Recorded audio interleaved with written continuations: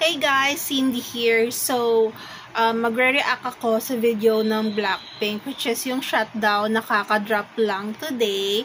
So, let's go.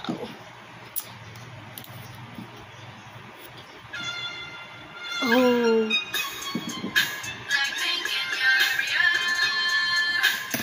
Alam niyo yung sa intro na to, um, alam niyo yung scene sa Playing with Fire ata, yung parang may balcony din na may ganon, tapos may apoy sa gilid, parang, parang same na props yung ginamit dito. Wow. Oh gosh. Oh, yung tangke sa durot-durot du. Tama ba yung magkakasabi ko? Sorry ah. Basta yung tangke sa du-du-du. Wow.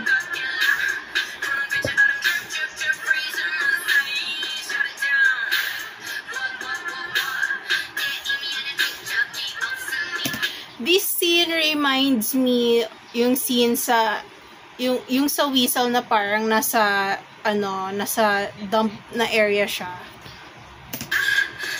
Wow, yung aso niya nandito rin.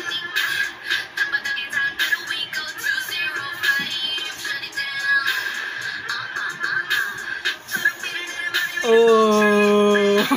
ano yun? Nagre-rap si Jisoo. What?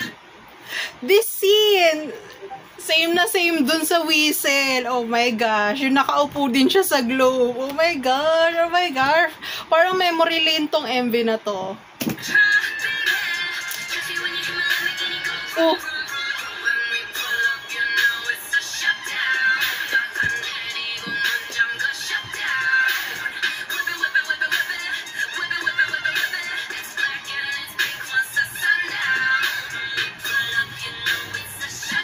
Oh.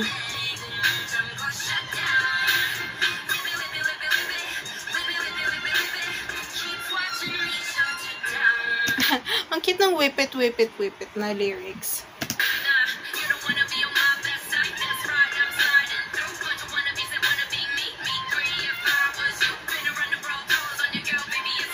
Naalala ko yung solo na MV niya dito.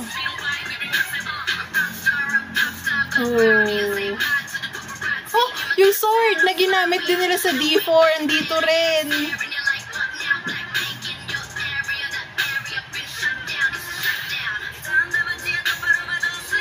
Oh, grabe. Ang daming durot-durot dura ano dito. Oh, yung nagsiswing din siya dun sa chandelier, andito rin.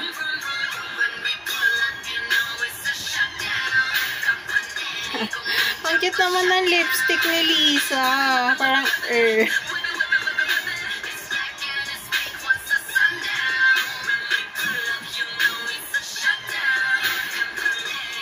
Wow! Nag-chorus si Jisoo. Oh my gosh.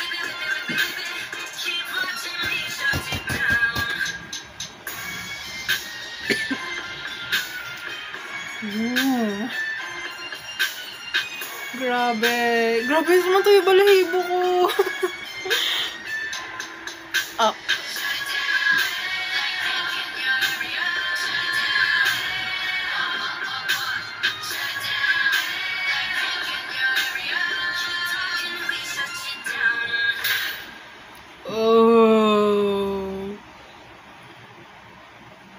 Okay. So, sa MV na to, wala sila masyadong ano, no? Wala masyadong dance break. Pero parang feeling ko more on memory lane siya. Kasi ang dami ko nakitang scene na familiar ako. Mga props na familiar ako. Na nakita ko na sa mga previous na MVs nila. And for me, it's super good. The Whip It, Whip It, Whip It is so catchy. And I like the visuals also of this MV. And medyo iba yung atake nito. For me, medyo iba yung atake niya compared sa other MV. Kasi itong MV na to, wala silang dance break sa dulo, unlike ng mga past MVs nila na meron. But, you know, it's really super good. I feel satisfied. I got a goosebump. And, looking forward sa mga susunod nilang MVs.